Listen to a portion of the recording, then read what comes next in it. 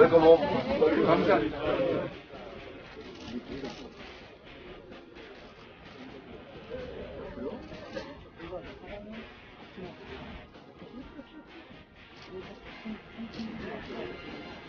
그러니까 배경이 있는데 많이.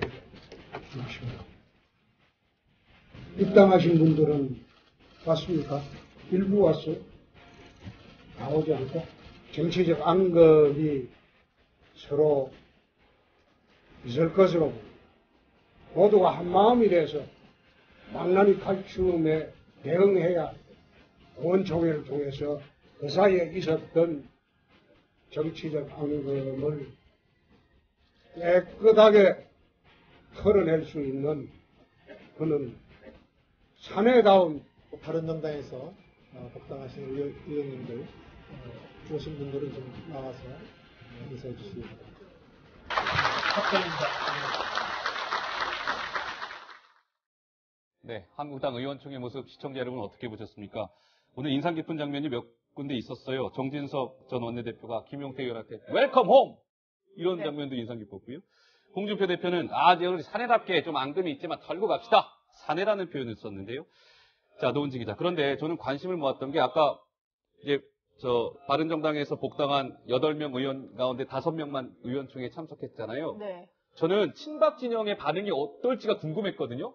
그러니까 박수를 칠지 안 칠지를 봤는데 네. 일단 의원들이 박수를 치면서 조금 환영하는 모습은 보였는데 어. 그럼에도 불구하고 감성 친박이라고 볼 수 있는 분들은 박수를 치지 않았거든요. 예. 영상으로 좀 준비를 해봤는데요. 음. 일단은 뭐 한성표 의원 같은 경우는 나- 뭐 돌아다니면서 인사를 하고 지금 김용태 의원이 돌고 있는데 인사를 하는 의원. 모습이었는데요. 예. 네, 김진태 의원은 뭐 표정 자체도 굳어 있고 어. 뭐 화영철 의원이 말을 걸려고 좀 시도를 하는 모습을 보시고 있고요. 김진태 의원이라든지 뭐 이장호 의원 같은 경우는 나 란히 앉아 있죠. 둘이 앉아. 있는데. 표정 웃고 있지 않습니다. 그리고 박수도 치지 않았다고 하고요.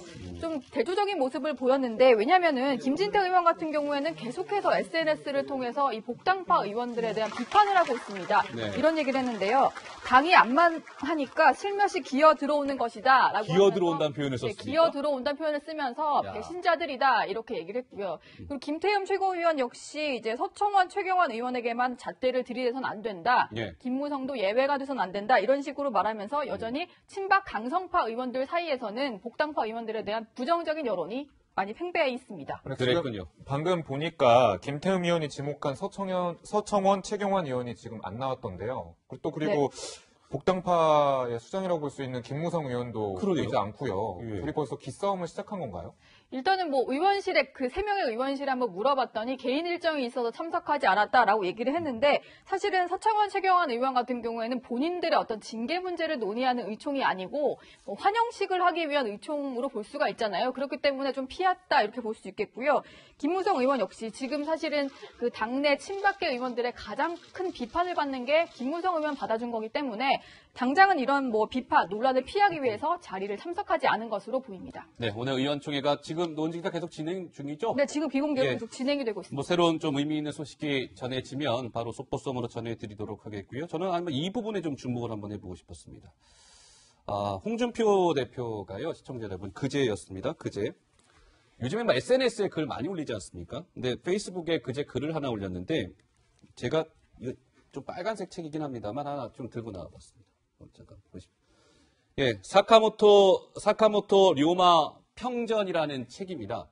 이 정도만 책은 제가 설명을 드리겠고요. 이게 무슨 얘기냐면, 그 일본의 근대화를 이끈 사카모토 료마라고 있지 않습니까? 강병규 네. 기자. 근데 홍준표 대표가 SNS에 그제 이 료마라는 인물을 거론을 했습니다. 저는 그냥 거론한 것 같지가 않고 뭔가 의미가 숨겨져 있는 것 같아요. 좀 네. 설명 좀 해주실까요? 일단 료마, 그 사카모토 료마라는 사람은 이제 일본에 이제 막부 체제가 여러 개 있었는데요. 그것을 강력한 중앙 집권화를 시켰던 인물입니다. 그랬죠. 그러니까 내부 그 분열을 막고 하나의 강력한 통치 체제를 만들었던 사람이라고 정리를 하면 될 것 같은데 홍준표 대표가 이제 SNS에서 이렇게 거론을 했습니다.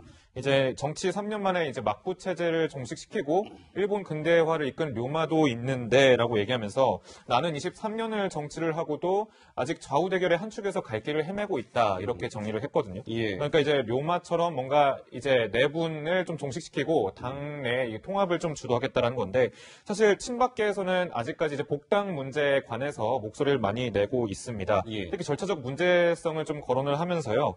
어, 한 의원은 이제 홍 대표가 이제 독주를 하고 있다. 이렇게 독주를 하고 있다. 예. 예. 그리고 또 다른 친박계 의원은 당을 민주적으로 운영을 해야 된다. 이렇게 얘기를 하고 있거든요. 예. 일단은 홍 대표가 이런 갈등 관계를 이제 좀 종식시키고 이제 원내대표 경선까지는 좀 당을 잘 이끌어 보자 이렇게 달랜 의도로 분석이 되고 있습니다. 강병규 기자가 설명 잘해 줬습니다. 예, 일본의 사카모토 료마는 일본인이 가장 존경하는 역사적 인물로 꼽히는 인물입니다. 류마가. 그러니까 류마가 한 목소리를 내지 못하고 당시에 이렇게 찢어져 있던 세력들을 하나로 모으는 데 역할을 했듯이 홍준표 본인이 지금 보수 진영이 다 갈라져 있지 않습니까? 자, 보수여 집결하라. 이제 하나로 모이자. 이런 메시지를 주기 위해서 류마를 언급한 것 아닌가. 네. 뭐 이런 분석이고요. 자, 노은지 기자. 오늘 바른정당의 새 대표로 선출된 분이 있죠.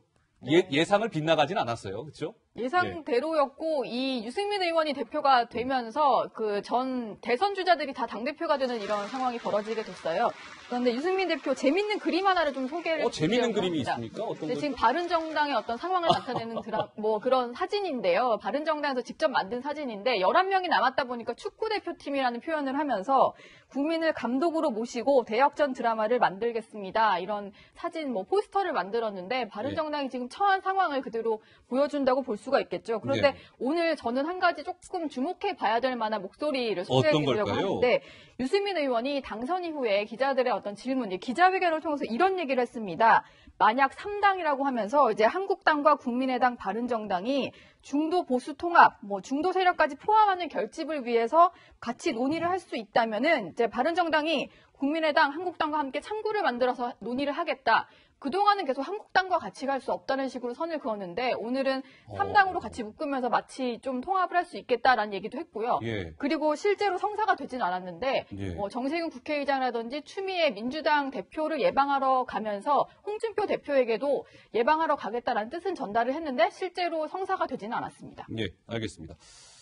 자, 이제 뭐 이제 11명 의원이 남게 됐죠. 바른정당에. 근데 뭐 아까 그 축구단이잖아요. 축구가 11명이서 하는 거니까. 이게 뭐 농구단이 될지, 배구단이 될지 뭐 여러 가지 해석이 나오고 있는데 좀 지켜봐야 될 것 같고요.